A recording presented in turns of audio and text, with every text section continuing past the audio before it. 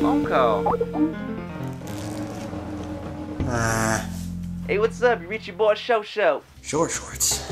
Hey, what's up, man? Would you like to watch some porn? Porn?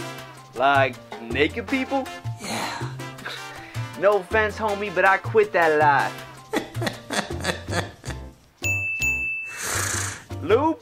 Tissue papers? Look, I ain't gonna conform to what you want me to do, cause we could be doing something way better with our time, and I'm gonna prove it to you right now after I throw out all this. What? Dirty mags? Come on, man, get this out of my house.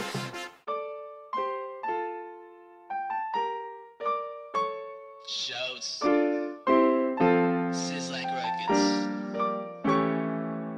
Stop watching porn, not good for ya. Wrecking your mind, better call a lawyer. Greater things to do, explore like Tom Sawyer. Fight off the urges, become a warrior. You gotta stop, you gotta think. Bad decisions happen within a blink.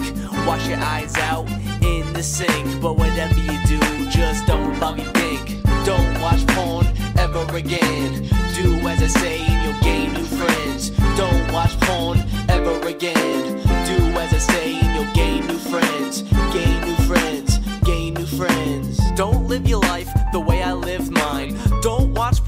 it's not the right time. Running these sins like your ninjas, I'm nine. If social thinks it's bad, then it must be a crime. Lock me up, put me away, get Weinstein on the line.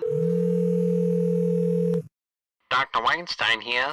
Don't watch porn or your eyes will melt. Don't ever put your hands below your belt. Watching porn is really not good for your health. Trust me, I'm a doctor, I know this well. I wanna, I never ever ever watch porn, never ever watch porn since the day I was jacking, I use them mostly for clapping. No, I've never been fapping. Porn is the worst thing that can happen to your life. Go and respect your wife. Tell her you love it every day at least twice. Go make new friends and have fun with them. You don't need to watch porn ever again. Listen to what I say and you'll be okay. Just don't look at any more porn or ruin your day. Don't watch porn ever again. Do as I say and you'll gain new friends. Don't watch porn ever again. Do as I say and you'll gain new friends. Gain new friends. Gain new friends. Ronnie, don't you love to masturbate? Why are we doing this? Gain new friends. Gain new friends.